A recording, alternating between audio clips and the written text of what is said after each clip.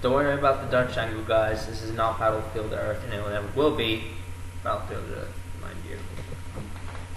Perform something. Here we go.